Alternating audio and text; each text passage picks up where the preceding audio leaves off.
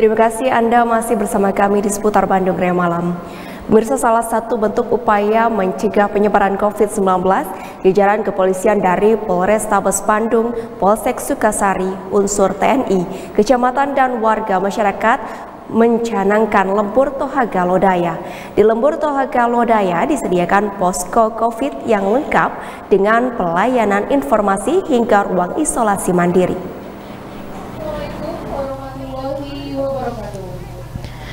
Kepolisian Resor Kota Besar Bandung melalui Polsek Sukasari bersama unsur TNI, kecamatan dan masyarakat meresmikan lembur Tohaga Lodaya yang berada di kawasan Kelurahan Isola, Kecamatan Sukasari, Kota Bandung.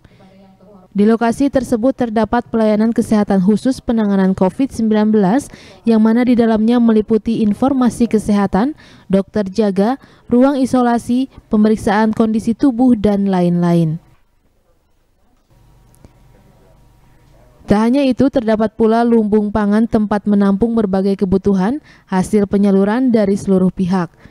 Pada kesempatan ini, sejumlah warga mendapat bantuan kebutuhan yang diberikan secara langsung oleh polisi, TNI, Pemkot Bandung, dan pemerintah kecamatan. Keberadaan lembur Tohaga Lodaya dinilai tepat karena bisa lebih menjangkau masyarakat secara langsung dan memudahkan warga untuk mendapat penanganan kesehatan. Kasat Binmas Polrestabes Bandung AKBP Hermansyah mengatakan diadakannya lembur Tohaga Lodaya di Sukasari ini karena kawasannya masuk zona hijau sehingga perlu dijaga agar tidak terinfeksi COVID-19. Selain itu bertujuan untuk membangun partisipasi dan kesadaran masyarakat dalam mencegah COVID-19. Jadi adanya Kampung Tohaga Nusantara atau lembur lembur Tohaga Lodaya intinya adalah membangun partisipasi dan kesadaran masyarakat untuk mencegah COVID-19 di wilayah Kota Bandung. Melalui siapa saja, melalui peran-peran masyarakat yang tentunya adalah bagaimana caranya atau upaya-upaya yang maksimal untuk melakukan langkah-langkah dalam rangka pencegahan COVID-19.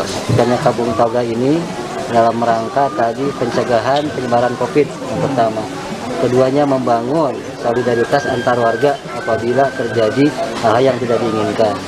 Kemudian yang berikutnya memperkecil tadi dampak dari sosial. Menyala yang berikutnya meningkatkan segi perekonomian. Kemudian yang perlu kami sampaikan juga bahwa dibentuknya kampung keluarga ini dalam rangka tadi pencegahan bahkan memperkecil bahkan sampai tidak ada sama sekali. Kepolisian sektor Sukasari pun selalu berkoordinasi dengan wilayah tetangga dalam penyampaian informasi perihal protokol kesehatan ataupun yang berkaitan dengan penanganan COVID-19. Lembur Tohaga Lodaya tersebut merupakan bentuk kepedulian Polri yang bersinergi dengan TNI, pemerintah, dan tim dokter untuk menjaga kesehatan masyarakat di tengah kepungan COVID-19. Yuwana Kurniawan, Bandung TV